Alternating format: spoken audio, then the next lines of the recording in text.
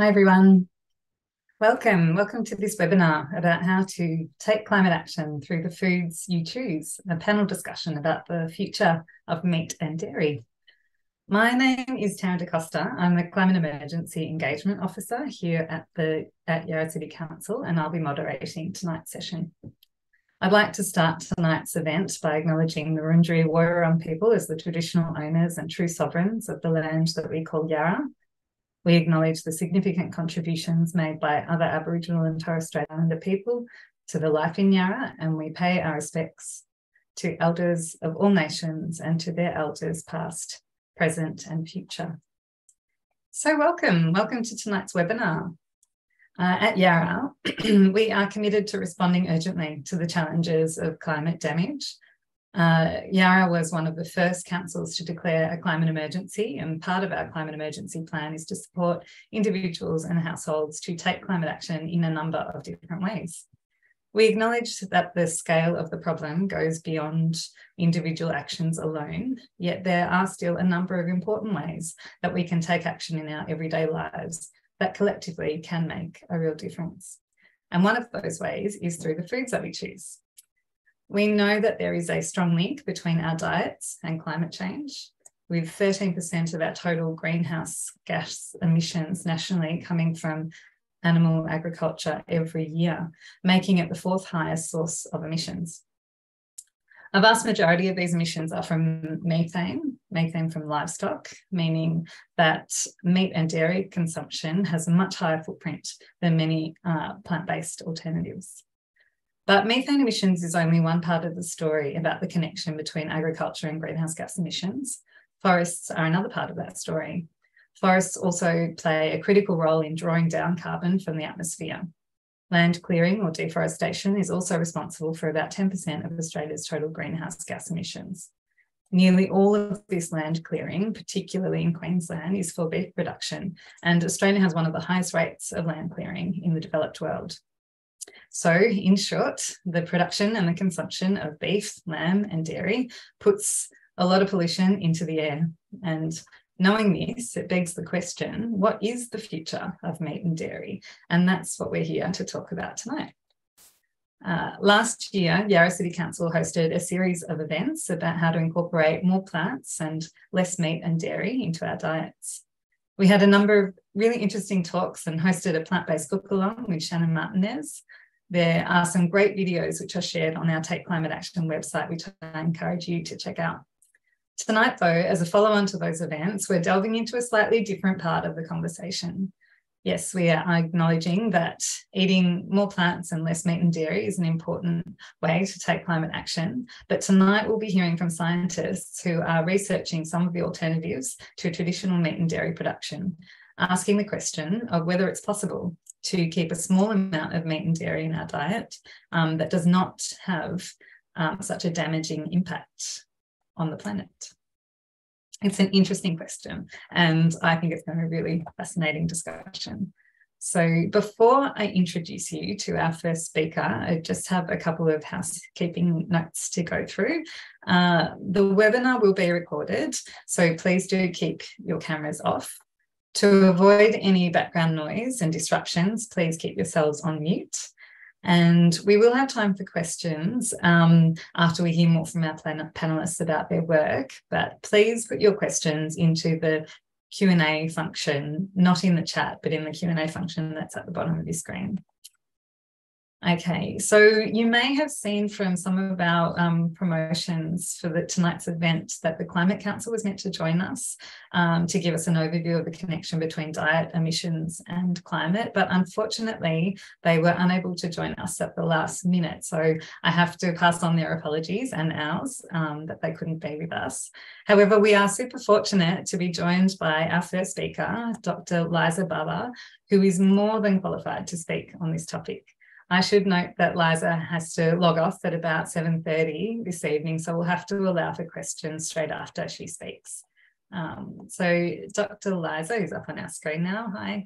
Um, Dr. Liza Barbour is a public health dietitian working at Monash University where she teaches nutrition and dietetics students about food sustainability systems and planetary health. Liza recently led the development of Dietitians Australia's inaugural position statement on healthy and sustainable diets. And her PhD explored the role of local government policy in promoting a population wide shift towards more environmentally sustainable diets. Liza, welcome and thank you so much for being with us, especially on such short notice. We really appreciate it. Oh, it's my absolute pleasure. I'm going to see how we go here. Um, hopefully, this will work fine. Can you see that all right, Taryn? Yeah, that's looking good, I think. Excellent. Well, I'm I'm delighted to be here with you all. Um, are you ready for me to start, Taryn? Please do. Yeah. Amazing. Well, yeah, I'm really happy um, to be here with you talking about such an important topic, something I'm very passionate about. Um, so I'm joining you from the unceded lands of the Boonwurrung people of the Kulin Nation, um, and I'd like to pay my respect to elders past and present.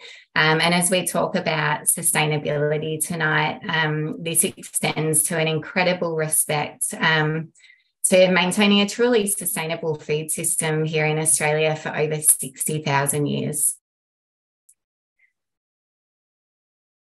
Um, so, just to give um, a little context um, to today, to tonight's um, discussion, I think it's really important to just define um, what the food system is more broadly and why each of us as consumers can play a really important role um, in transforming it.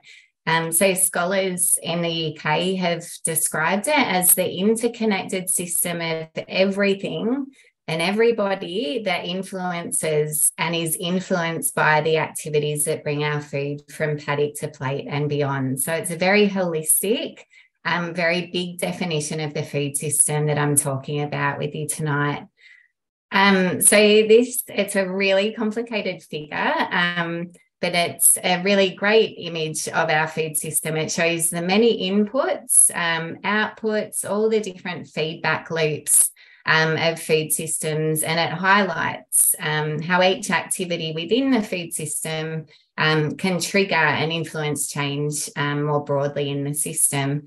Um, so over here we've got um, us as consumers. we've got the food supply chain here. Up here we've got the governance systems. There's local government with the Yarra Council. so you can see lots of factors that influence the food system. Um, and yeah, although it's it's pretty overwhelming to look at, I do really like um, this image, and I think it's a, an important reminder of just how complex um, the food system is, um, and a nice reminder that changes that we make within the system will likely affect lots of different people, lots of different natural ecosystems, um, and there'll be unintended and intended consequences um, of any actions that we take within the system. So I'm sure everyone online tonight knows um, that experts are calling for urgent and significant transformation of this current food system. Um, so on the left here, we've got um, some of the pressures that our food system is under um, so climate change is affecting the planet's ability to produce food. Um, and then we've got global population growth that's adding pressure to produce more food more efficiently. And then on the right here, um, I guess these pressures on our planet are only worsened um, by the fact that the, the food system is producing these really harmful byproducts. Um, so, for example, 30% of global greenhouse gas emissions, um, which I'll break down a little in the next couple of slides. Um, but sadly, the way that food is um, produced and distributed in our current food system is also causing malnutrition in all its forms. Um, so the way it's it is at the moment, our food system is promoting obesity, overweight, diet related chronic diseases. Um, and unfortunately, it's people who are already experiencing disadvantage who are um, affected and impacted the most by this. Um, so this um, just shows that the, the byproducts then feed back and catalyze climate change. And so the cycle goes on and on. Um, so this is why there's these resounding calls um, for really urgent and really significant transformative efforts. Um, so, as mentioned, um, our food system is responsible for 30% of all global emissions. Um, and you can see here um, where those emissions are coming from within our food system. Um, so at the top here, we've got emissions coming from activities within that food supply chain. Um, next is the largest contributor, which is um, livestock and fisheries. Um, and I know we're going to hear lots more about this um, tonight. Um, but the emissions here are coming from cattle's digestion, so that enteric fermentation. Um, it's also emissions from manure and pasture management, and then fuel use in fisheries as well. Um, next down, we have the, the crop production. And so this includes the production of food for both humans um, and feed for animals. And finally, at the bottom here, um, this is all the emissions created from land use. Um, and again, it's for both humans um, and for livestock. Um, but you can see here that the land use for livestock supersedes that for human food. Um, what we've got here in this graph is um, graph is a bit of a breakdown of the greenhouse gas emissions produced from some really commonly consumed foods. Um, and it shows where those emissions are coming from according to the various steps in the, um, the food supply chain up here. Um, so, for example, we can see that um, for beef herd, most emissions are coming from land use change um, and farm activities. Um, but if we look down here at tofu, for example, there's a much larger percentage contribution from the processing stage, that blue part um, of the food supply chain. Um, so, of note for tonight's discussion, it's all these meat um, and dairy foods that are the highest contributors um, to emissions. Um, so, how does data like this um, help to inform that bold, transformative action that we um, that we really need? Um, well, a, a, couple of years ago, the EAT-Lancet Commission brought together 37 of the world's leading scientists um, to answer this really, really ambitious, um, really important question.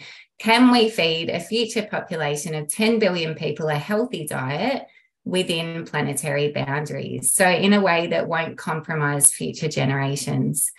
Um, and their two year inquiry ended, um, it was in February of 2019.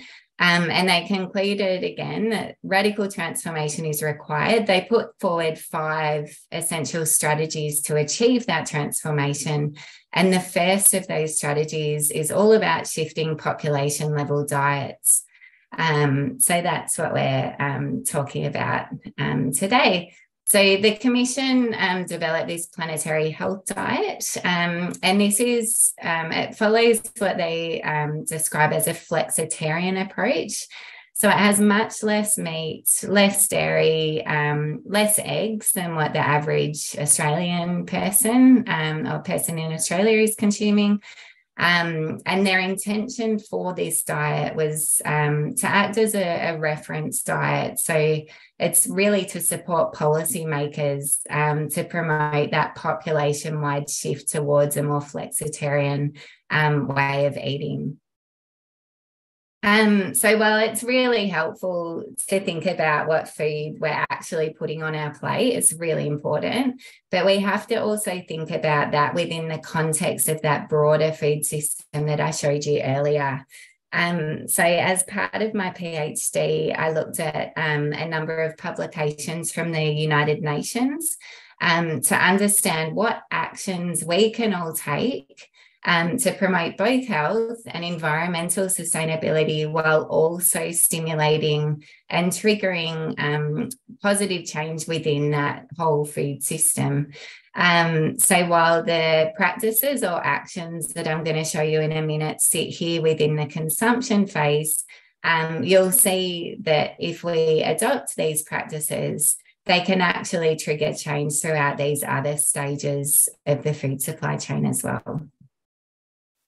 And so this is part of an infographic. If you want to see the whole thing, um, there's a QR code there. Um, but the practices um, that are here. There's 13 of them, and they basically describe um, a desirable way that each of us can interact with our food system. So, in terms of the way we source food, prepare, consume, dispose of our food, all the different touch points that we have with the broader food system.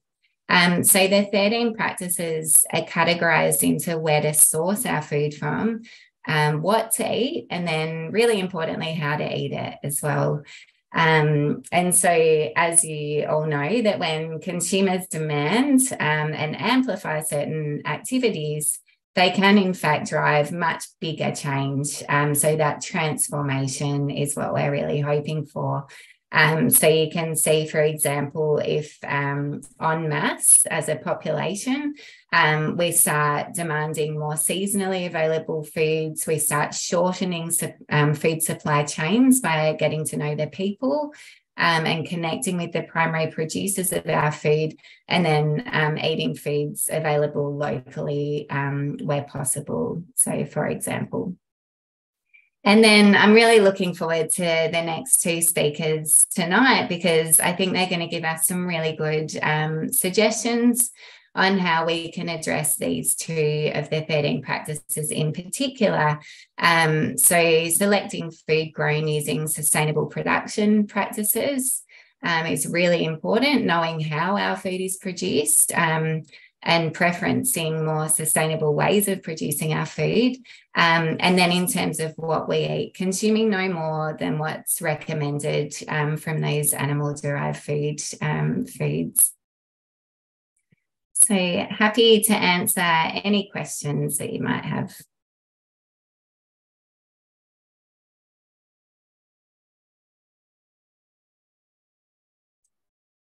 Sorry, Liza, I was just getting my camera back on. Thank fine. you so much. That was really, really interesting. Um, I might kick off with a question actually, because I was curious um, if you could tell us more about the, um, you use the concept planetary boundaries and living within them. Can you tell us more about what that what that means and what that actually looks like? Yeah, sure. I'm no not an expert, but my understanding is that we um, we don't have infinite resources on earth. So it's about looking at the resources we have um, accessible to us um, and not extending beyond what can be regenerated within um, a certain life cycle. So it's just living within the resources we have, not overusing what we've got. So, um, yeah, land, fresh water, um, lots of those sort of natural resources, because once they're gone, um, once we exceed that um, sort of time frame of allowing regeneration it, has gone and so that's that's where the future generations their ability to eat a healthy diet um, will be sort of jeopardized then Right. Yes, and I can see that Sam has, um, who's one of our speakers tonight, has put a link in around planetary boundaries. So amazing. Thanks for that, Sam. Um, and are you able to tell us a little bit more about the importance of some of these 13 actions? Are some more impactful than others and and where we should focus our focus our energy or our yeah. attention? Yeah. yeah, sure. So there is a bit of research um, around and certainly the topic that we're talking about tonight. So the um, consuming less or no more than recommended of the animal derived food is a really important one and probably um, arguably the most um, kind of higher um, impact item. Um, certainly around agricultural production practices is a really big one. So if we can prioritize more favourable ways of producing food, um, that's going to have a huge impact um, on emissions as well. Um, and then this one is quite a controversial one, but looking at um, reducing our intake of ultra processed foods. Um, so that's a really um, it's a fairly contentious one. when you look at walking into the supermarket, it's just a proliferation of ultra processed foods. All those items in the middle aisles of our supermarket are getting more and more and more. Um, so, yeah, I guess encouraging people to shop more from the outside of that supermarket where the foods are um, replenished a bit more frequently. Um, is something that we can all do to, um, yeah, just limit these. They're often overpackaged foods and um, in many ways um, not as nutrient um, dense. So yeah, yeah. And I th- and you mentioned earlier about that um, about about the sort of inequities around food and about people living with disadvantage and often some foods can be cheaper when they're highly processed which seems ludicrous, doesn't it? the process it's been through, but Absolutely. And the, the money behind marketing these ultra processed foods, um, yeah, there's a lot of social injustice um, in, in there for sure. Yeah, absolutely. Um, we were going to, I'm not sure if there's any more questions coming through in the chat for you, um, but I did, we did have something um, Oh, sorry, there has been another question come through, pardon me. Um, interestingly, there seems to be a connection between healthy eating and eating that is better for the climate, um, processed foods. Do you want us to comment on that? Yeah, it's a really good point. I think it's something that the um, perhaps the nutrition, public health nutrition world, uh, like the environmental lens over the work we're doing is quite new.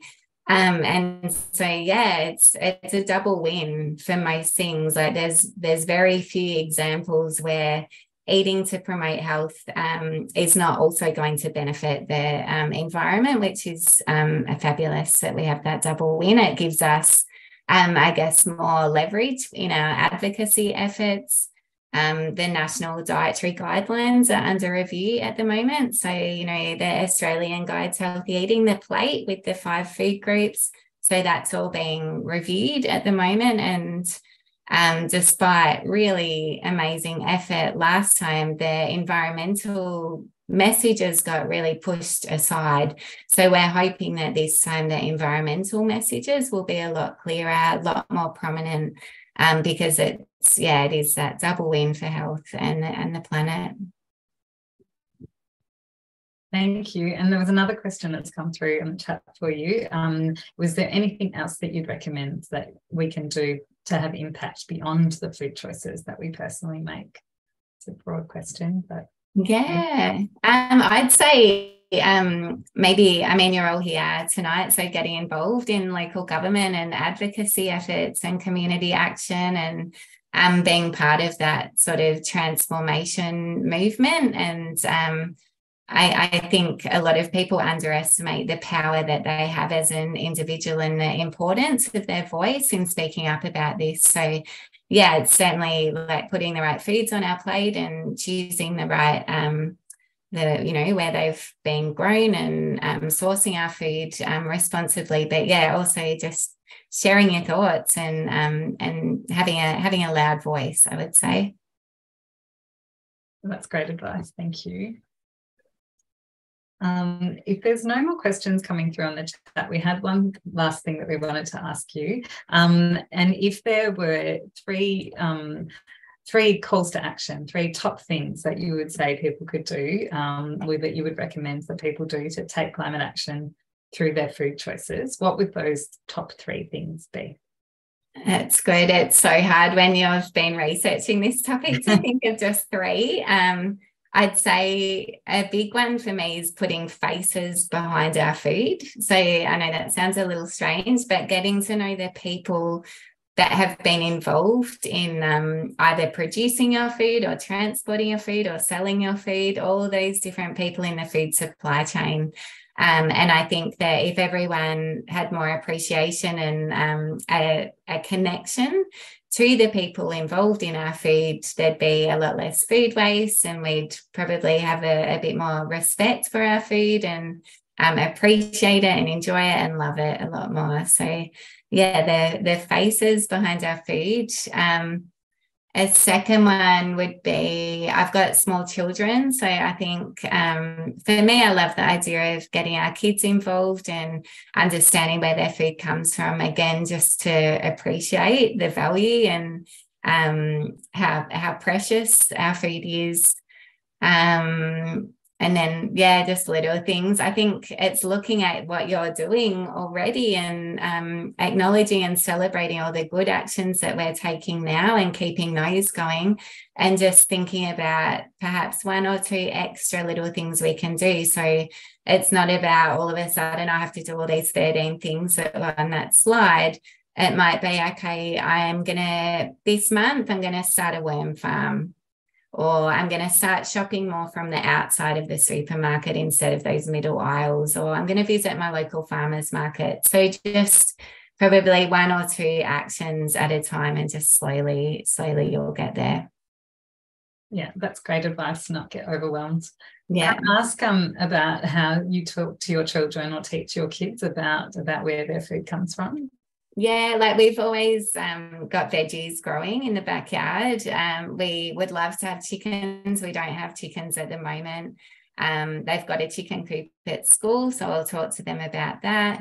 Um, and then just yeah, getting them in the kitchen and um, chopping up the herbs that they've picked from the garden. And so just um, I think there's something so beautiful and tactile about separating food from nature putting it in the kitchen and allowing them to enjoy it and smell it and um, experience that food. Um, just yeah, they they love it. So they don't always eat all the healthy things, but at least they've had a positive experience with it. Yeah, I'm sure some yeah. filters through to them, no doubt. Yeah, yeah, yeah.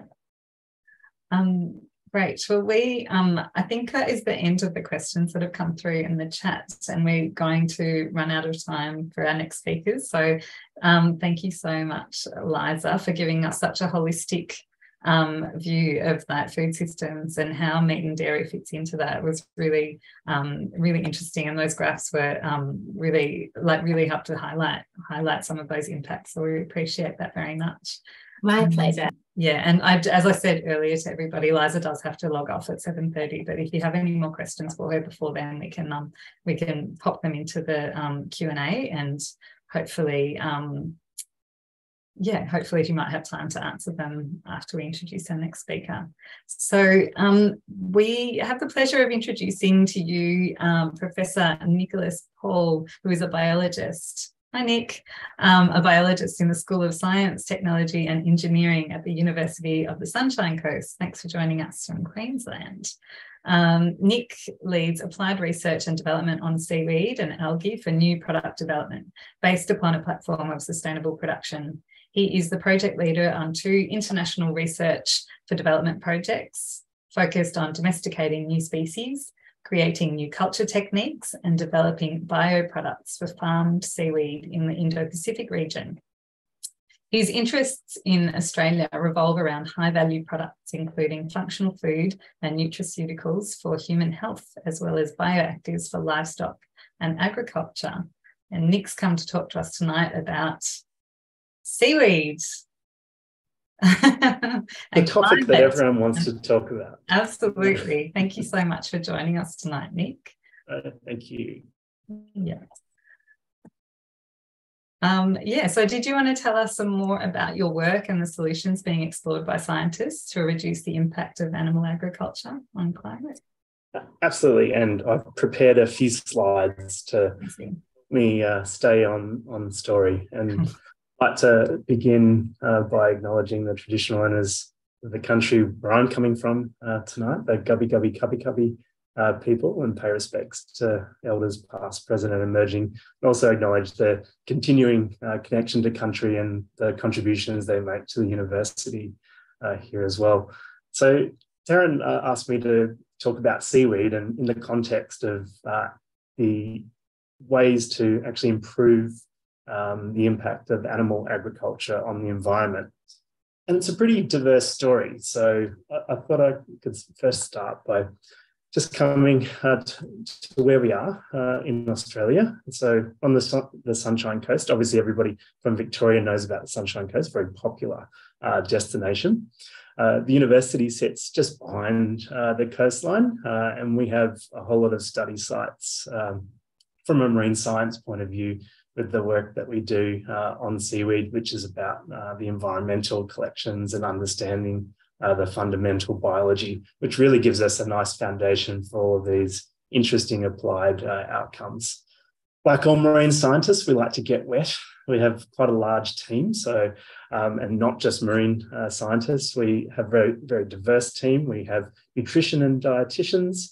Um, we have uh, people working on the social side of, of, seaweed and the environmental side, as well as chemists and microbiologists and a whole range of other uh, nerdy uh, science uh, based teams.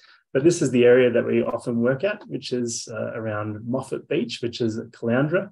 Beautiful uh, place to collect and study seaweed. Sometimes it gets a bit rough. It's also a famous surf break, so we can surf in those times. But most of the time, it's classic sunshine uh, style, which is very pleasant uh, when it comes to uh, having a, a, wonderful area to study. And it's really diverse in terms of the seaweeds that are off the coast. What I wanted to do and um, introduce uh, some of the work that we do overseas is actually step back and, and talk about seaweed which is fundamentally important for a whole lot of cultures across the Indo-Pacific. And I've had the privilege, as well as my colleagues uh, here at UniSC, to work uh, in these places with our um, collaborators uh, and, and looking at all different aspects of seaweed production. So 35 million tonnes of seaweed is produced every year uh, around the world. And a lot of that uh, comes from Indonesia. And a lot of it is literally just off the coastline uh, in submerged fixed structures We've got people farming uh, different types of seaweeds, uh, one type here and another type uh, here. And these are ones that are used for creating gels. It's like agar and carrageenan that we use for uh, thickeners in food products. Most seaweed in the world at the moment is used for food. It's a slightly different context when we go uh, to our uh, partners uh, in the Pacific Islands, and we work in Samoa and Fiji and Kiribati, where uh, seaweed is a wild harvest uh, only, although some farming is beginning. Uh, and they are able to go out onto these coral atolls. These are wonderful old uh, fish traps uh, in the islands of Kiribati. Uh, it's Tarawa in the middle of the Pacific, where sea grapes can be picked off. So these are these wonderful um, delicious uh, green seaweeds that burst in your mouth and give a, a really uh, subtle uh, marine flavor and a whole lot of thrill uh, when it comes to bursting. And we have uh, people that are involved now in, in being able to promote the seaweed. And we have our nutrition uh, students are able to go out and interact with often the women's groups that are the most keen to, to do work with seaweed. So seaweed's often women's business in these countries we get a lot of inspiration uh, from uh, all of the countries that we work in. And just to give you an idea of how versatile seaweed can be, these are a whole lot of different products that are being produced uh, with seaweed as a main ingredient in, in Indonesia. Uh, they sometimes make these uh, fish or seafood balls uh, using the, the thick seaweed that's used as a binder. They make seaweed chips, uh, which are fried up uh, directly in some nice uh, seasoning, seaweed noodles, lollies, uh, as well as marmalade. And if you're really game, uh, some seaweed fresh, uh, nutritious drinks as well. So we're always getting these, these wonderful types of seaweeds overseas. But the reality is that in Australia, we're a net importer of seaweed. So just like our other seafood, which we import about 60 to 70%, um, it's the same or even more so with seaweed, where almost all the seaweed that we tend to have uh, access to uh, in, in the shops is coming from Korea and China in the form of nori and wakame and, and kombu. So one of the things that we're trying to do uh, in the seaweed research group, about 30 odd um, staff and students here at the university is try to find uh, some of the seaweeds off the coast that might have um, some unique applications, especially in food, but also in other uh, areas. And that gets a lot of attention. Lots of people are interested in seaweed at the moment, which is fantastic. It's a great time to be a seaweed scientist.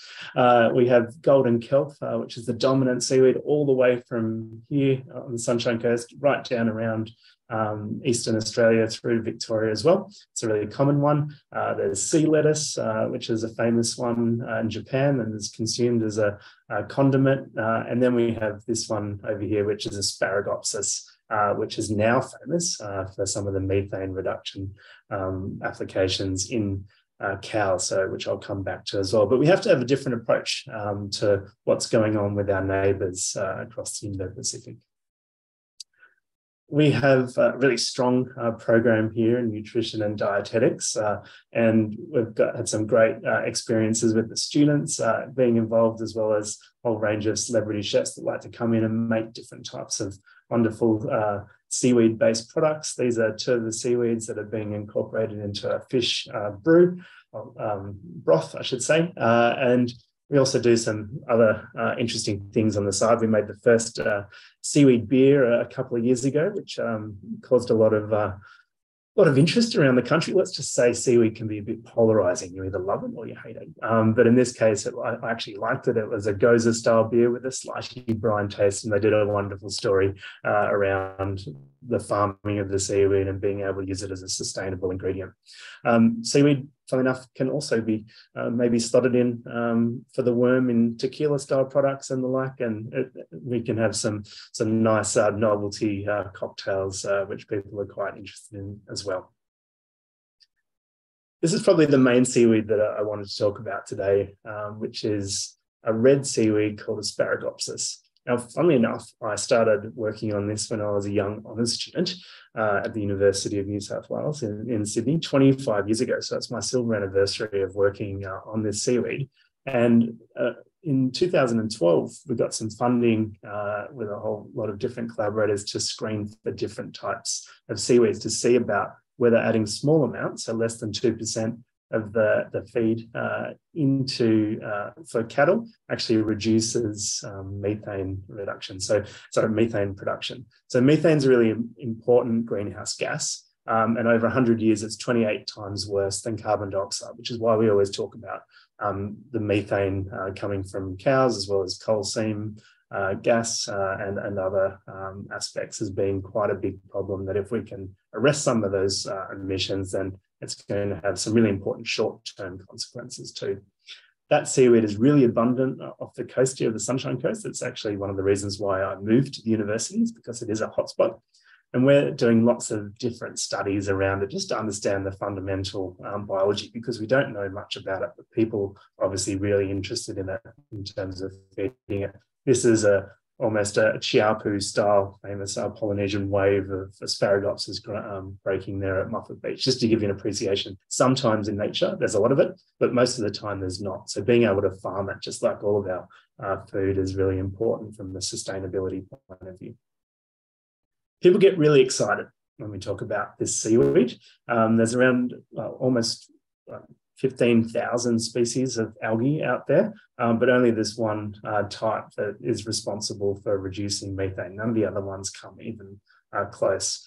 It's got a lot of attention from government and companies. This was an ad that uh, grabbed from an ad from the federal government last year, which I looked up and saw a, a cow munching away on some red seaweed, which is um, quite unusual still for me to see that being uh, so in the public face our marketing team at the university also get quite excited about the work that we're doing on the, the fundamental biology and promote it. And for a brief, great three weeks uh, earlier this year, we even had a billboard uh, which had seaweed uh, up on uh, the road here, the Pacific Highway. So you know that seaweed's hot when it's um, a, a, billboard happening.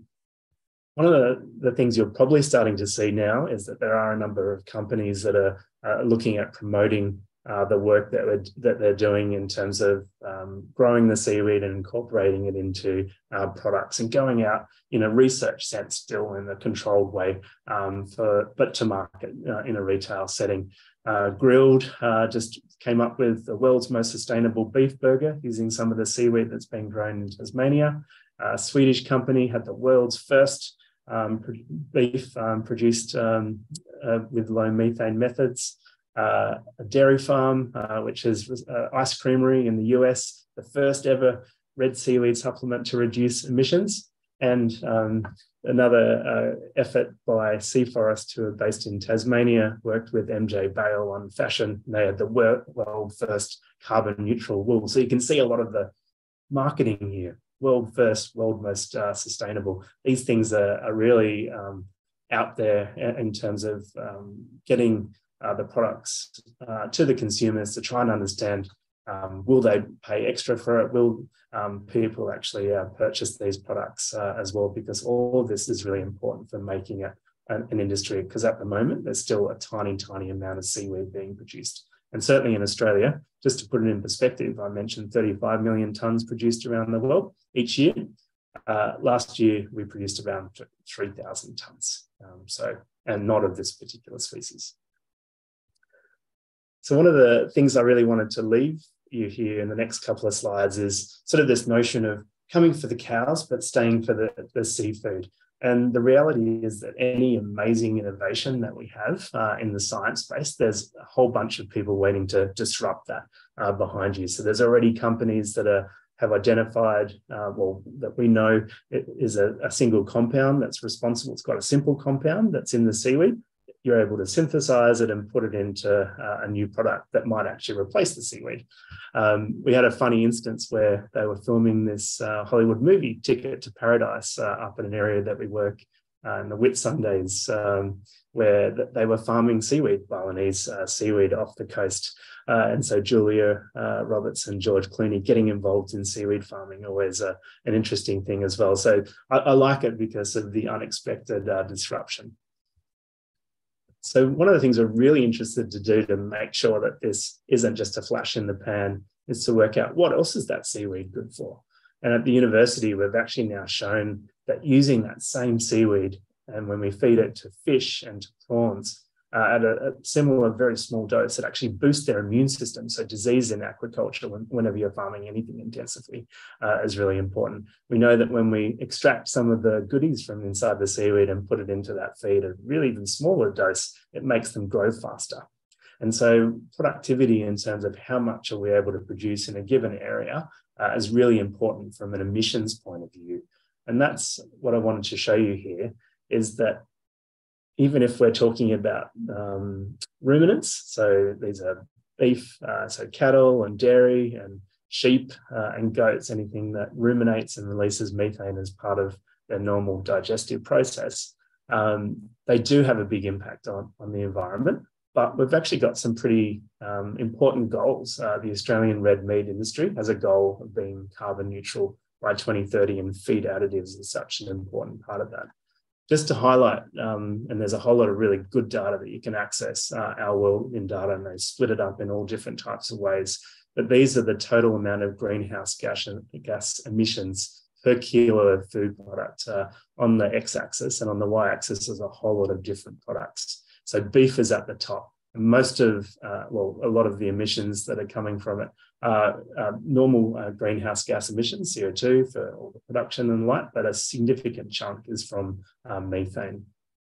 Interestingly, prawns are right up there. So one of the ways that uh, farmers grow prawns is the, uh, with a lot of water movement in ponds, and so aerating, keeping them all alive. And it's actually quite um, poor when it comes to carbon emissions as well. But it's not about methane, the grey bar. It's all about farming, the production side.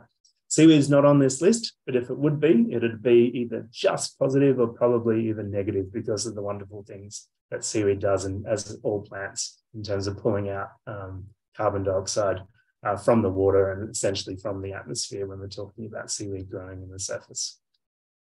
I think Liza touched on this as well before, and one of the things that I often hear, and it's quite important to, to highlight, is that it's mostly about the farm production uh, and land clearing when it comes to grazing cattle the actual logistics, so the transport side I've highlighted here for prawns and for beef is very small. Um, so that, that idea of sort of food miles is really sort of gone now. Um, and so the ability of being able to work on those key parts um, to try and come up with new technology or new approaches uh, is really important. So on that, what are these new approaches? We've got to start being more circular circular in the sense that there's no such thing as waste. It's just a resource or input for another um, value generating activity and hopefully, of course, environmentally uh, beneficial activity. Uh, one of the things that I've talked about in terms of prawns and cows, both of them being uh, perhaps not so good for the environment at the moment, uh, is that seaweed might actually be this great way to bring them together.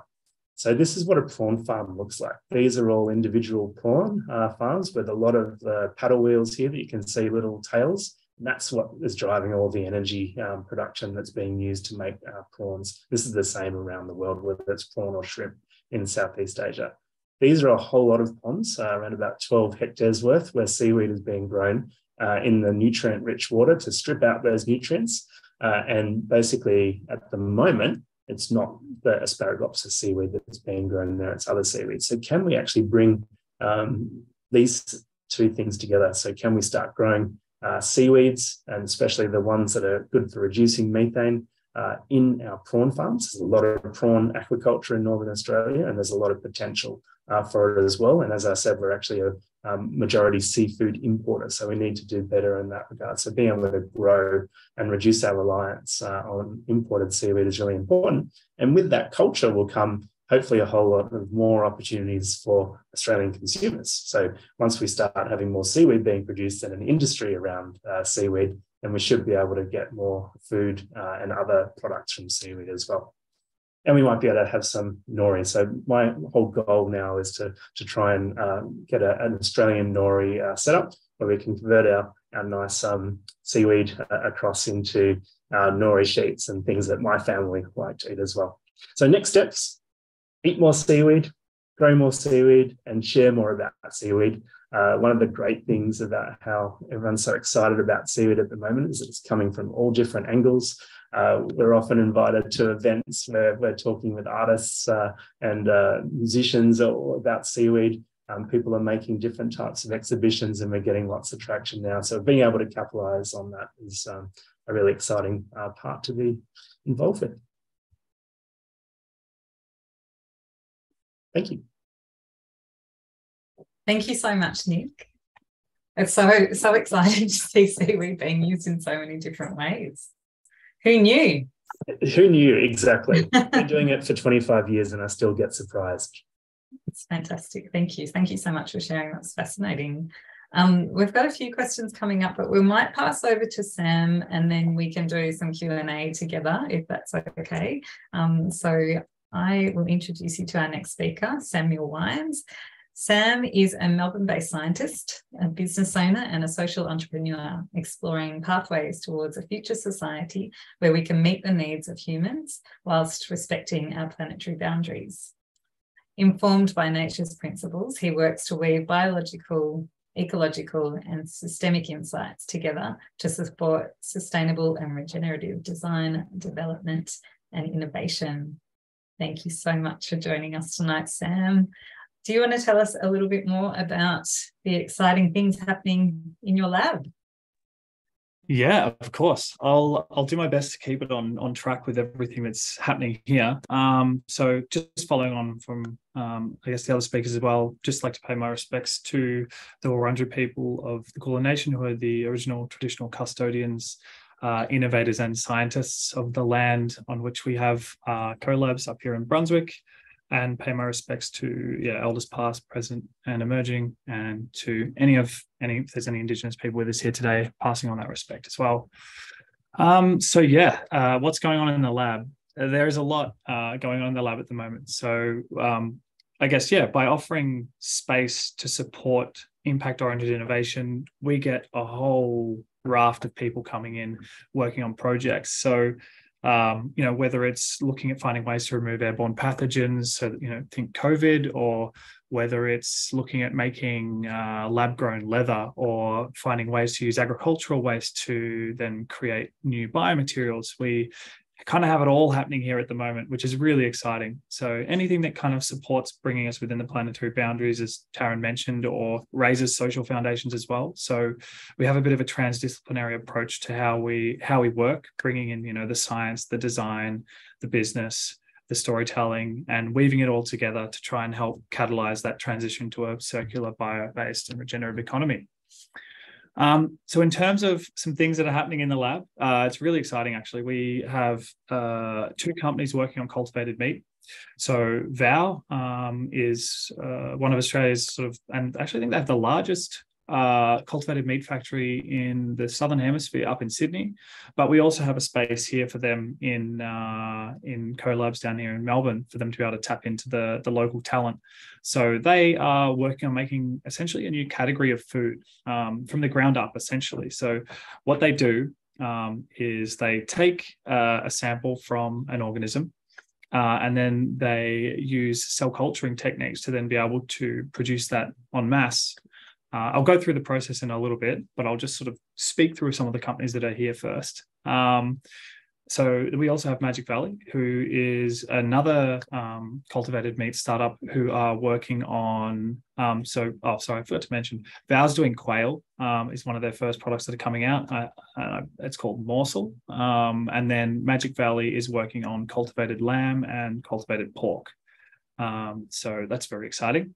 Um, and then as well, kelp is so hot right now. That is very true. We actually have um, two startups who are working in the lab right now on uh, yeah on kelp related projects. Or I actually kelp one's kelp and then one is um, asparagopsis. I think uh, one's one's seaweed and one's kelp. Um, and the got that'll be so that'll be uh, Australia's first golden kelp farm in Disaster Bay. So we're helping them essentially we have like what we call a kelp IVF clinic, um, where we're essentially looking at growing and um, germinating kelp. Uh, they're called gametophytes, and we build up enough biomass, and then um, what's happening is it's going to go and be seeded on ropes, which are put out into the ocean to draw down um, like all the ocean carbon and that then goes into the biomass and then you can bring that onto land and we can use it for for food. We could use it for fabric. We could look at making algae based plastics or replacements for plastics.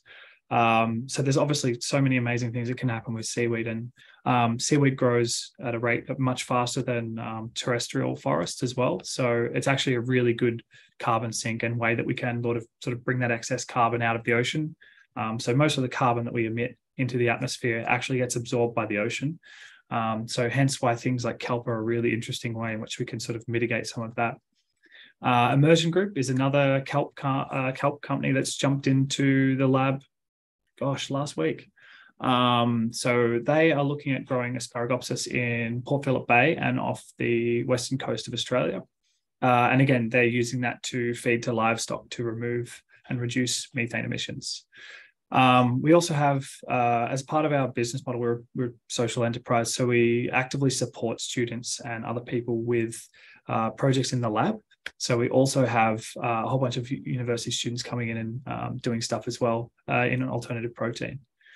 Um, so the process of cultivated meat and dairy, I should say as well. Um, so um, they are different. So I'll, I'll, try and be nice and quick and get through it all. But the process of cultivated meat, you take a sample from uh, an animal, um, and you know this might have traditionally been like a biopsy. Um, so sort of going like that and taking a little bit of a uh, bit of muscle out of the organism. But um, there are actually now some non-invasive methods where you can kind of scratch the ear um, and then cultivate cells from that. So then what happens is the scientists bring it to the lab and they selectively choose a combination of cells that they need to be able to pick for like, you know, the ideal flavor and texture and aromas that we would sort of want for meat. Then what they do is they add um, the essential micronutrients that are tailored towards uh, providing high nutritional value, uh, purity and consistency. And then they place that into a bioreactor, kind of like how we brew beer.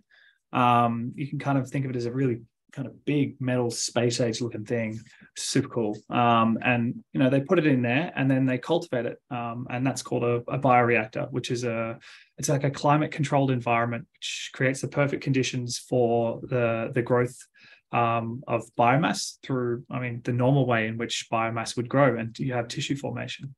Um, after that has hit a point where they're like yep that's perfect. That's all we need um, sort of they take that out and then they process it and turn it into food products. Um, so it's not going to be like uh, you know a wagyu beef or a steak. It doesn't come out like that. Um, you know, it's so these things can't necessarily be seen as like a drop-in um, replacement. Um, they are a little bit different. Um, and then fermentation of milk. So fermentation of milk is a little bit different. So what we actually do is we get the um, we get the genes that code for milk. Uh, we place that into a yeast and then cultivate that in a bioreactor instead. So actually using uh, one organism to create um, the milk proteins. And then again, you can sort of tailor that to be able to have the right content nutritionally. Um, so pretty cool. It's kind of like designing food um, in a like a precision sort of way, which is really exciting. Um, and I guess some of the some of the benefits to this are that it um, uh, there might be so, so the Good Food Institute's put out a study showing that there's around about a 96% reduction in um, emissions related to the production of food if we do explore going down this route. Um, which is really interesting. And obviously, I'll have to caveat that and say, you know, that really depends if we also decarbonize the energy system, which um, sort of what Eliza was mentioning before. You know, uh, this is a complex, interrelated network and web of different systems.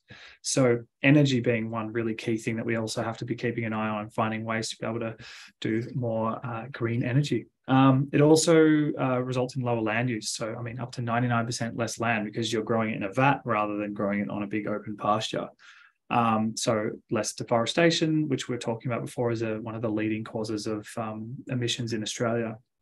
Um, also reduced water use, uh, which is a pretty big one as well. So about up to 90% of the water we currently use for traditional agriculture. Uh, decreased use of antibiotics. So no need for any of that because you're growing in a controlled environment, um, which is pretty cool. Then uh, another really interesting one, which um, sometimes gets left out of the conversation is actually reduced food waste. So rather than you know having to grow it on a farm where there's big feedback loops in terms of like you have to grow a cow and then you have to wait and then you you know slaughter it and then all of that, you can actually just kind of do this on demand to meet demands based on how much you know your uh, people need or demand in a certain time. So um, it's actually really interesting um, in that regard. It can reduce the supply chain length because you don't have to have as many steps, and each of those steps there is a potential for waste. Um, and you could also look at using and feeding the organisms plant biomass um, to feed like sort of feed the cells, which is agricultural waste. Again, one organism's waste is another organism's food, bringing it back to one of those principles of life that um, Nicholas so kindly called out for us earlier on. Um, so yeah, there's some really interesting ways to reduce waste. Uh, and then in terms of food security, uh, I kind of tapped on that a little bit before, but yeah, increased increased efficiency when it comes to um, the traditional agricultural method of making food. Like we're going to have hundred percent increase in uh, you know the need for protein in the next by the by 2050 uh, we don't have enough land or resources to make that happen. So uh, by using cultivated meat or precision fermentation for dairy um, that could kind of help us really increase our efficiency. Um, obviously it's going to be also a more sustainable uh, protein source. And then there's also the ethical implications of we don't have to slaughter anything and we don't have to keep something to milk it um, you know, these things are sentient uh, living organisms with a uh, transient sense of self, and then some of them actually might even have some form of self-reflexive consciousness where they there is what is something like it's like to be that animal. So, you know, thinking about how many of those are in captivity is pretty crazy. Um, I'm going to cut it a little bit short just because I'm noticing we're dragging off into some of the time for Q and A.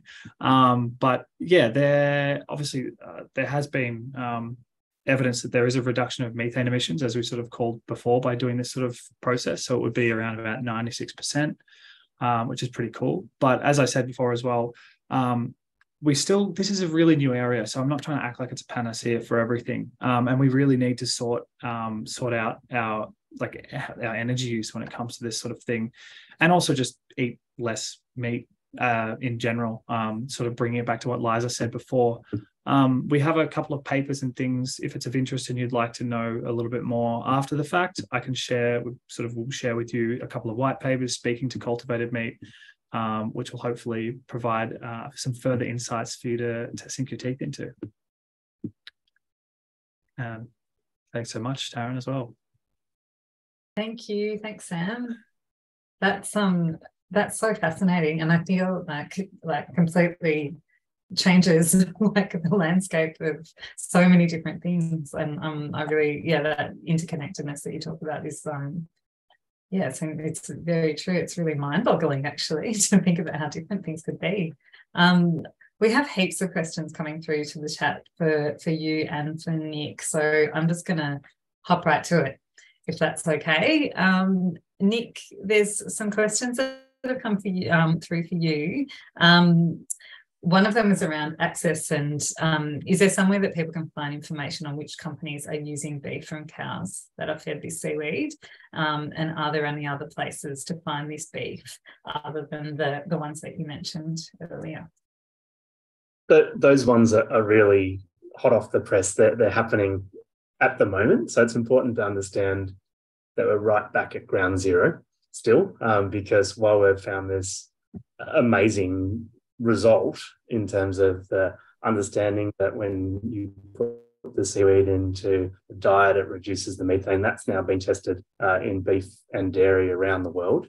It's still early days and there's no commercial supply, as in regular commercial supply. And that's what everybody is actually doing. There's a, um, yeah, there there is now a, a group of uh, companies that are starting to to farm uh, asparagopsis, but there's a long lag time for starting up something new. And Sam alluded to this too. It's it is really at that startup level. Um, some of them are well resourced and might move quickly, uh, but it won't be uh, anytime soon that it'll be a regular um, feature in the supermarket. But what they're getting is important information. A lot of the times in sustainability, especially when we talk to consumers, people say, "Oh yes, we would pay more for uh, carbon neutral or um, climate friendly. But when it comes to you, you talk to business researchers and consumer researchers, when it actually comes to paying at the cash register, they often don't make those choices that they might aspire to in other times. Uh, so bear, bearing that in mind, um, the, there are yeah quite a few uh, companies in Australia uh, farming, uh, looking to farm the seaweed, mostly down south. We're really interested in uh, access for Northern Australia because of that compatibility with existing uh, agriculture and aquaculture uh, that's in the north. And that's quite a, a, good fit, really, in terms of tropical um, production. Right. So it grows better up north, is that what you're saying? Faster. Yeah, things faster. grow faster in the tropics, think, as yeah. everyone probably knows. Yes. yes. Yes. Like whenever I've been up north everything's so lush and green and growing beautifully, and the seaweed is the same apparently. it just well, definitely grows faster. So the, the yeah. that's quite. So I guess a little bit of a juxtaposition is that when you go into the water in Melbourne or Tasmania, you see a lot of seaweed, but that's like seeing a really old rainforest that is wonderful and full of biomass, but isn't actually growing that quickly. So the, the, the tropical rainforests, of course, grow quickly, and all the um, the tropical reefs high turnover, and so there's some of the, that's one of the reasons why Indonesia's uh, the second largest producer of seaweed in the world, sitting smack on the equator. Okay, interesting, great. Um, on that kelp question, Sam, there was a kelp question for you. Um, so, are the kelps that you mentioned, the ones removing carbon from the oceans to make algae based plastics, um, and I think there might have been a couple of others that you mentioned, are those technologies that are possible now? Uh, I guess just to reiterate what Nicholas said, um, like the future is here, but it's just not evenly distributed or scaled up. Um, so there are, I like for example, um, people can look up AlgiKnit and people can look up Uluu, which are two startups working on algae based. So the, the, the former is doing algae based yarn, the latter is looking at doing plastics here in Australia. Um, and then, as I said, you know, we have the kelp companies that are coming in here and doing their research. So Immersion Group and Elskelp. Um, and we already have startups here in the space going, oh, let me know when your kelp farm's up and running because we'd love to use that as an input to our biomaterials. And they're like, yeah, great. We will let you know in about a year and a half because, uh, again, as Nicholas was saying, to to do these things at scale, like it's one thing to test it, um, you know, by the bench, you know ordering something in and making it happen but it's a whole other ball game when you have to try and scale that up and make it work. Um, so yeah these things are coming soon but they're not necessarily readily available yet. And it's just like everything. Like use lycra as an example that took like i think it took dupont like 30 or 40 years to get that to a point at which you could just make a crap ton of Lululemon pants. You know, before then it wasn't it wasn't around, and it cost them a lot of money to make it happen. And now you can get a pair of pants for like ten bucks. So keeping those sort of things in mind, and you know, the only the only way we'll be able to bring that cost down is is if the you know the government and there was some regulations to be able to support or or fund this sort of stuff and tax things that are a bit more, um, I guess, say resource intensive. But that's another conversation. Yes. And maybe you could put the names of those companies in the chat, the ones that you just mentioned, so that people were interested. Yeah. Um, Nick, another question for you. Um, can any other animals eat this seaweed and will it reduce methane from any other animals? Um, you mentioned wool. Do other do other animals cause methane like cows? Is the question.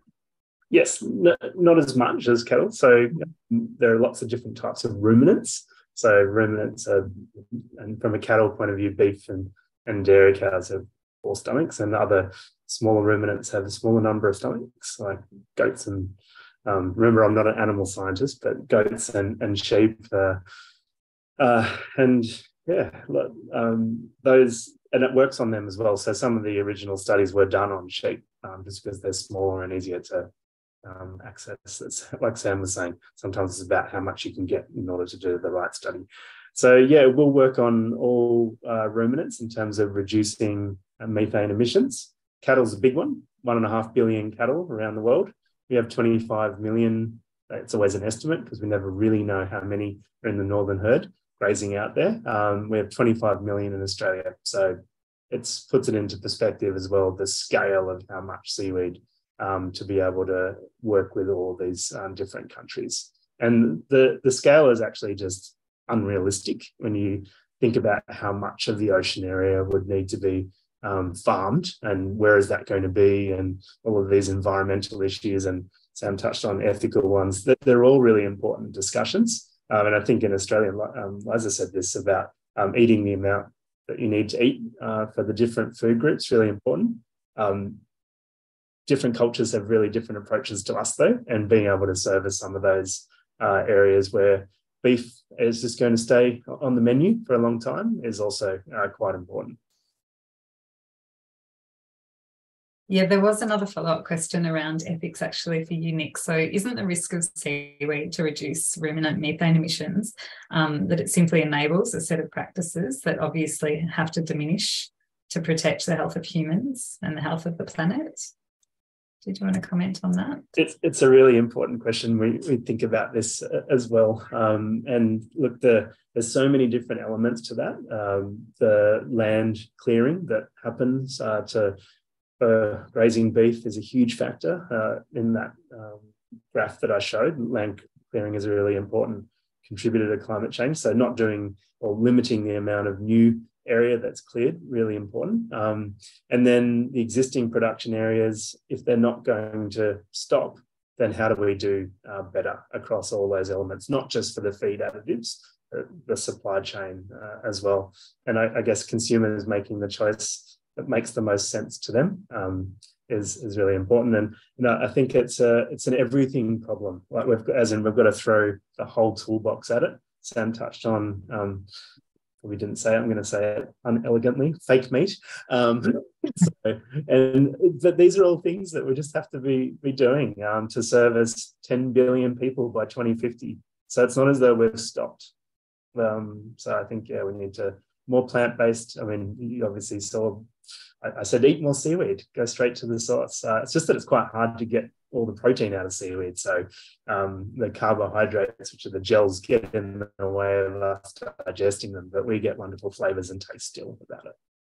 Maybe we need more kimchi, then at least it's broken down for us. Just to just to rip off that, um, Nick, I think um, it's really important to, uh, and this whoever asked this question, great question um, it's really important to acknowledge that uh, there's a really fun framework called the Three Horizons framework when it comes to innovation, and it's acknowledging that you know Horizon One is business as usual. Horizon Three is you know the vision that we have for the future, and then Horizon Two is the bridge that gets us there. So a quick example would be you know um, let's just say uh, mountaintop removal and fracking to get more oil, very much Horizon One um, green, you know, green hydrogen using solar, very much Horizon 3. And then Horizon 2 would be using electrification of cars to kind of get us there, which will eventually become a Horizon One because we don't have enough rare earth minerals. So it's it's worth thinking about this as well. In that um, feeding cows asparagopsis is really useful, and that's a way like a Horizon Two solution as we sort of work towards more things like cultivated meat or finding more lower impact ways to produce food, whether that's uh, polyculture or whether that's working on permaculture or urban farming. There's so many ways, and you know, yes, I only spoke about a couple here, but I just yeah, it's worth acknowledging that um, even though I work for a, an innovation company, I don't think tech is going to be what's going to save us all the time, and we shouldn't always try and hope for techno optimism. There is a real need for things like regenerative agriculture, um, and you know even growing food and vegetables at home, or herbs at home, or whatever you can kind of do in that in that way. I, I think is a really important thing to to keep in mind. But yeah, that the, the it's it's less bad is a really good way of thinking about it. So if we can feed them seaweed, it's less bad than what would already be happening anyway.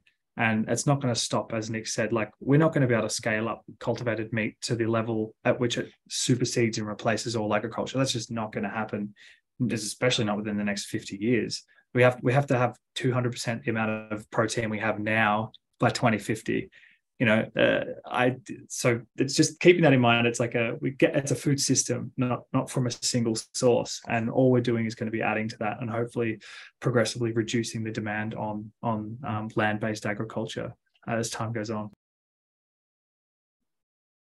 Thanks sam. Yeah i think that um like liza's really hectic diagram that she showed earlier is a really good um yeah, I mean, it really just sort of sums up that it's such a complicated system and it's a very multi-pronged and yeah, it's it's going to take lots of time and lots of different approaches. Um, there was a very practical question that was asked of you, Sam, actually about um, cultivated meat and can it be started out of cells from other cultivated meat or does it need to be started from new animal cells? Do you know?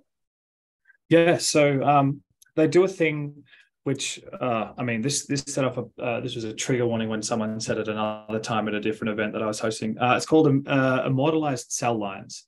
That doesn't mean cancer. That just means that they play with um, the way in which a cell grows, and it will just keep keep dividing. But you obviously need to give it all the nutrients and everything to keep going. Um, and then they can also put them on ice or like what we would say like cryo and be able to store them and then go back to that and then keep using it um, you know ad infinitum um, kind of like how we have things like they're called HeLa cells, um, where you know you, you can get these, um, and you know you can take one sample and then just keep replicating it. Right after a while, inevitably you will need to get another sample. Um, but the beauty of that is that you could then go and find samples of prize prize winning you know um, beef from a certain farm in a niche place in um, Japan where they grow all the best wagyu beef in the world and get a like so to begin with you just kind of they just go and get a sample. But then as time goes on we can look at actually diversifying out into selective breeds or um, you know moving on to things like prawn and everything like that. But um, in short no you don't need to get a sample every single time. You can keep um, if if the if you have this to cell stem cells as pluripotent stem cells um, you're kind of reverting them back to like level one of being a cell and they can kind of keep growing from there and differentiating out. Um, just depends on the environment that you keep them in. Interesting. And Nick, I've got another very practical question for you too. Um, what are the practicalities of how to get cattle or livestock to consume a handful of seaweed per day? That's a really uh, good point. Um, at the moment, the most immediate pathway to do that is when they're in a, a, feeding situation. So whether that's in dairy when they come in to, to feed a couple of uh, in feedlot situations or um, from a beef point of view when they are in feedlot at the end, um, so with the, before they're turning off. So that's the, the most straightforward way because it's only a really small amount that needs to be um, mixed in with other feed uh, as well. So we're talking about uh, 50 grams out of 200, uh, sorry, uh, 20 kilos worth of um, feed that a, a, cow would eat in that setting. There's a lot of research happening at the moment to try and make the seaweed or the form that it can be turned into stable so that it can be used in more of the range grazing settings. Um, which then makes it more accessible um, to more of the, like, the other 90, 90% of the cattle in Australia. But if you think practically speaking, um, it's going to be enough of a challenge to get to serving the 10% of the cattle that are in relatively easy to feed situations, let alone the other 90% for now. So, okay, great. Thank you. Um, and Sam, I've got another question for you from Bella. Um, what are the inputs that you need to cultivated meat dairy um, for cultivated meat dairy to grow biomass and do these have environmental consequences? Uh, I think absolutely is the answer. Um, the like the Earth, for all intents and purposes, is a closed system aside from the solar income that's constantly coming in, um, which means that um, everything in here is just constantly shifting and changing. Um, you know, energy and mass. So, uh, whenever you're taking something to make something else, it has to come from somewhere. Um, so yes, there is, and there's always going to be an environmental impact, even for the most sustainable things. Um, so I think, yeah, it's we can't we don't really have the full LCAs yet. I shared a scientific article actually um, with you, Taryn, we can sh- share later, but we haven't been able to do enough research into this to know what all the costs and everything are.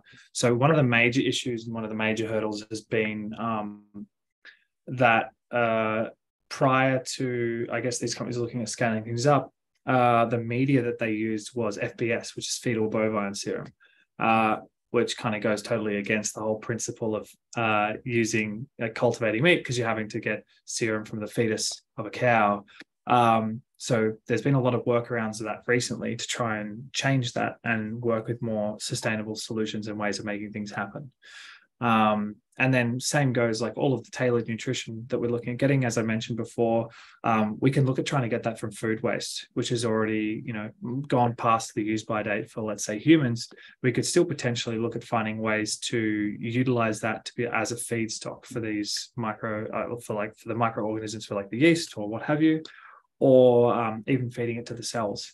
Um, it's that whole one organism's waste is another organism's food. So we can always try and make that happen um, but yeah, I'd be lying if I said there's no environmental impact. Like, look at all the metal and everything that has to be put into making anything. But it's one of those things that we kind of hope that initially, and it's like everything in life, um, during the growth phase is when every organism uses the most resources, and all it does is take, take, take. And then once it, once I think of a tree or a sapling, once it reaches maturity and becomes a mother tree, all it does is give back and give food and nutrients to its little saplings that come around. And and so it's kind of thinking about that when it comes to organizations is they all have these growth cycles. And after they hopefully grow to a level at which they can reach scale hopefully then um, they can start looking at reducing the impact they have on the environment and do things in a more sustainable manner. Um, so yeah hopefully that answers your question um, yeah, I hope so too. That was from Bella. I think it did. Um, and Gwyneth also wanted to ask you, Sam, um, what sort of shelf life do these foods have, um, and how are they stored? Yeah, great, great question. Um, so, still the verdict is out on all of this because we still have to make the thing to be able to then, you know, put it in packaging and see. But the premise is that um, due to the sterile environment that we're working in and due to the fact that um, you can literally choose and tailor what you put in it um, if you store it straight from in the lab there could be a chance that it actually has a longer shelf life uh, than traditional meats um, because it's just way less contamination and and so that's a like a really interesting um, i guess thread that hasn't been fully researched yet but we have a pretty good inkling that it will kind of uh, I guess, be able to last for longer. Um, and then, yeah, I think the, like the shelf life as well, like because it might not be a steak, right? It might be um, like uh, there's still going to have to be some form of processing that goes on to be able to turn this into uh, a food product, right? So I know that before we were speaking to the fact that we want to reduce our consumption of processed foods, but uh, but then also, you know, remembering that tofu is processed, so it's it's always a bit of a gray area, right? These might be more processed foods, but they might actually be more nutritionally dense because we've optimized it for, uh, you know, human consumption. But um, yeah, I think it should be able to provide a bit of a longer shelf life, uh, but we don't know, and that's the beauty of science is we always have to try and figure these things out and see if we can make it happen. Uh, but yeah. Great, thank you, Sam. I, we're getting towards the end of our questions um, and towards the end of our time for questions. But um, Nick, there was one last question for you. And what is your favourite seaweed food? I can't go past nori sheets, to be honest.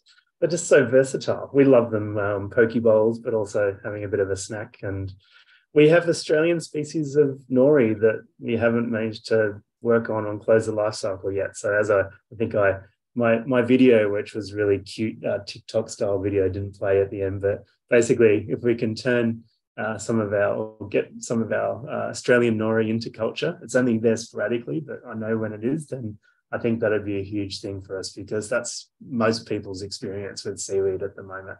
And it's so versatile. You can put so many different flavors on it. So I love it.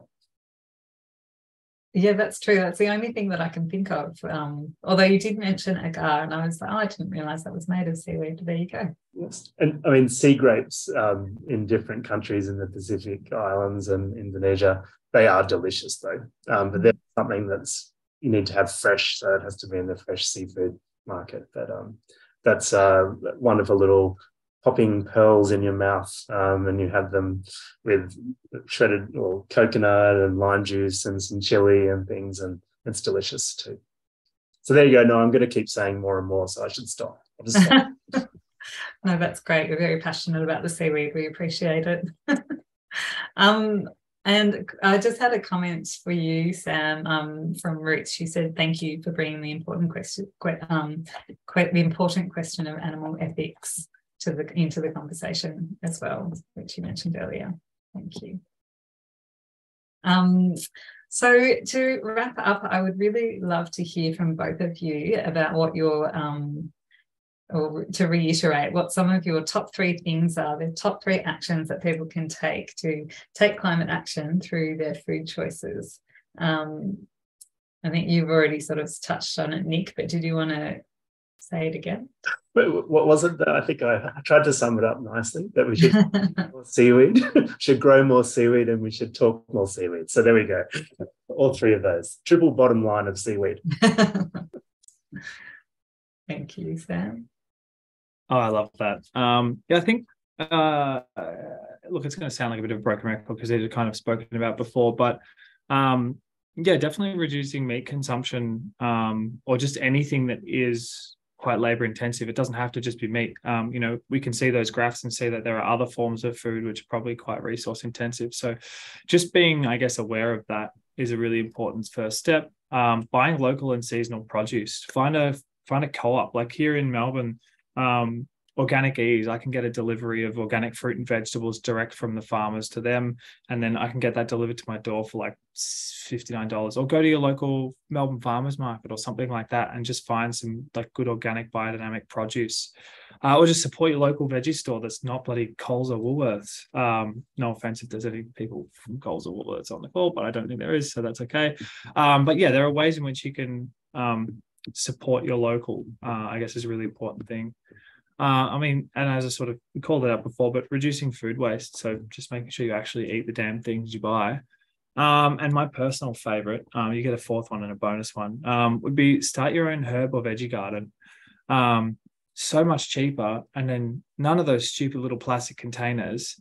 And then you can also just make really tasty, delicious food. And it all has like amazing micronutrients in there. And, you know, maybe get yourself a little, like a fish bowl and grow your own kelp in there as well. Maybe we can have a chat with Nicholas and see if we can do an at-home DIY kelp growing kit for nori sheets.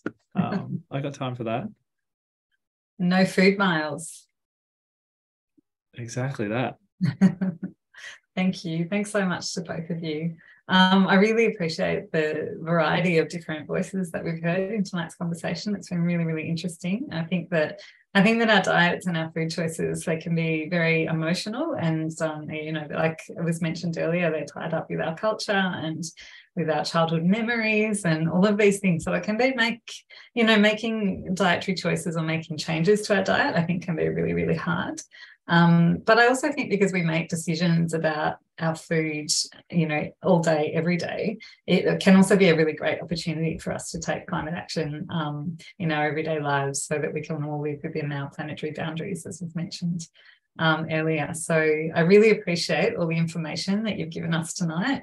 Um, so much to think about and so much like it's like a little trip into the future. Really, really fascinating.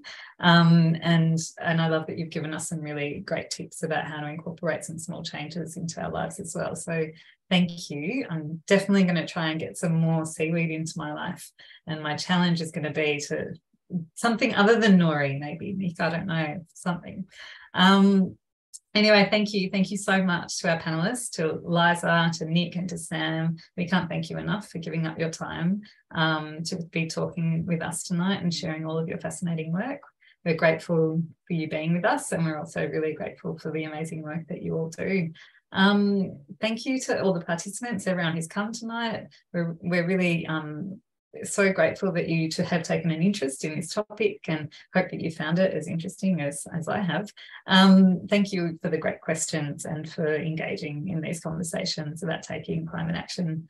Um, we have on just a bit of a plug if there's any information that you want about Yarra and ways of taking climate action, um, the best way is to catch us through our website um, and also through our monthly newsletter, which you can sub- subscribe through to through our website. So I recommend that you go there, and um, we also have information there about any sort of any future events um, that we've got coming up. And speaking of future events, just a bit of a plug. So um, Eliza mentioned earlier about one of those sort of actions um, or things that you can do is to eat more Indigenous plants and in indigenous foods. And um, so thankfully, we have an event coming up not uh, in about two weeks. It's on the 30th of March, where you can learn more about eating more native plants. Um, we have Nornie Bero, who's the head chef of Big Esso and owner of Mabu Mabu, an Indigenous owned business. And she's going to be running a plant-based cook-along with us online, um, talking about native plants and how to incorporate more native plants into our um, into our diets. She's going to be cooking Hasselback yams, I believe, with crispy currants and and some native herbs. It's going to be delicious. And it's an online cook along. So we send you the ingredients beforehand and then she'll cook with you and you can do it with us um, from your kitchen. So it's going to be a lot of fun. Um, and so I really encourage you to sign up for that. Um, and also, if you're interested in making your home uh, more energy efficient, we also have some great events coming up about solar for apartments and making townhouses um, and apartments more efficient and sustainable. So I recommend that you log onto our website to find out more about those things. Um, so that brings tonight's webinar to a close. If you have any family or friends um, that you think would have been interested in tonight's session but couldn't come along, it has been recorded and will be up on our website in the next couple of weeks. So um, please do recommend it to, to people you think might be interested. Uh, and the last thing I'm going to ask is that in your inbox, we've sent you a two minute, very brief survey just to get your feedback about tonight's event. It really helps us to shape our events and to, um, and we find your feedback really valuable. So um, we'd appreciate that. And um, Sam mentioned some of those resources that um, and papers. Um, that's also in that email, um, along with some other information about our upcoming events. So, um, so yes, thank you for coming along tonight. And we hope that everybody has a really great evening. And thanks again to our presenters and to everyone for coming. Have a great night, everybody. Good night.